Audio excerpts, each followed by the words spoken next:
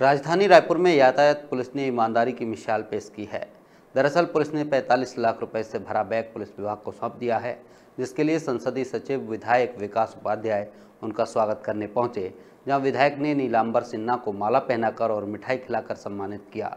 वहीं विधायक ने कहा कि वो इस मामले में सीएम और गृह मंत्री से चर्चा करेंगे, साथ ही उन्हें प्रोत्साहन सम्मान प्रदान करने के लिए आग्रह करेंगे।